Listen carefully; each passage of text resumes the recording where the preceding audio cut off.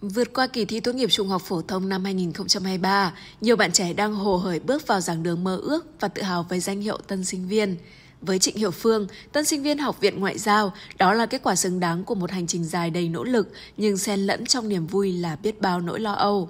Như ở trường cấp 3 thì mình cũng đang tham gia khá nhiều các cái hoạt động ngoại khóa, thế nên là việc ờ, bắt đầu vào một môi trường mới với mình nó không quá khó. Nhưng mà điều duy nhất mình lo lắng là cái cái lịch học của trường cũng như là cái khối lượng học tập và cái kiến thức của trường nó là một cái à, phạm trù kiến thức mới khác với cái phạm trù kiến thức phổ thông mình đã học ở các ở trường cấp 3 và các cấp dưới. Không chỉ Hiểu Phương, nhiều tân sinh viên khác khi bước vào giảng đường đại học cũng bị choáng ngợp trước môi trường mới. Nhiều sinh viên cũng từng thao thức vì trong sự vui mừng còn cành cành nỗi lo làm thế nào để hòa nhập và bắt nhịp nhanh nhất. Năm đầu thì em gặp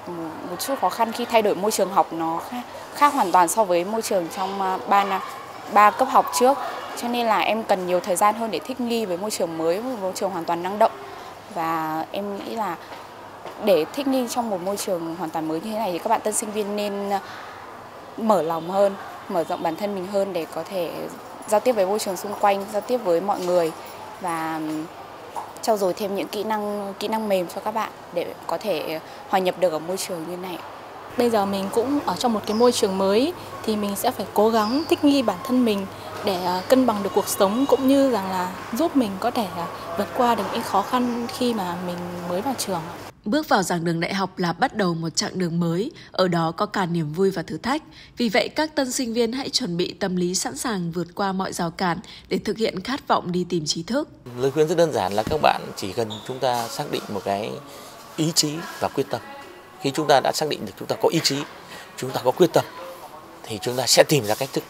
phù hợp nhất với bản thân mình thì chắc chắn là chúng ta có ý chí chúng ta sẽ tìm ra cách thức phù hợp để chúng ta có thể rèn luyện và phát triển bản thân phát huy tối đa cái năng lực của bản thân. Mình ờ, rất muốn nói là hãy cố gắng ờ, enjoy cái quãng thời gian học đại học và cố gắng là tận dụng từng giây từng phút để enjoy cái việc đấy. À, vừa là để à, nâng cấp bản thân mình cả về kỹ năng cả về chuyên môn